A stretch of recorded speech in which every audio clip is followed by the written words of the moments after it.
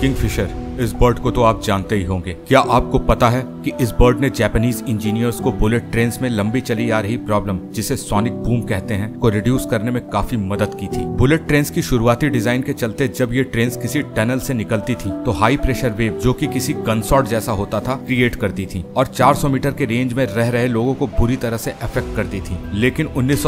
में जापानीज एक नए डिजाइन पे काम करते हैं जिससे की ट्रेन की स्पीड कम नहीं हुई और बुलेट ट्रेन काफी शांत भी हो गयी इन्होंने किंगफिशर को ऑब्जर्व किया जो कि 40 किलोमीटर पर आर की स्पीड से हवा से पानी में डाइव लगाती थी वो भी बिना किसी स्प्लैश के just because of their streamline shape इसके बाद इंजीनियर्स ने बुलेट ट्रेन के कई सारे हेड शेप पे काम किया और मल्टीपल टेस्ट के बाद जो शेप फिशर की चोट ऐसी इंस्पायर्ड था उसने सबसे बेस्ट रिजल्ट प्रोड्यूस किए और इसके साथ नेचर से इंस्पायर होकर जापान ने अपनी दशकों से चली आ रही प्रॉब्लम को सॉल्व कर लिया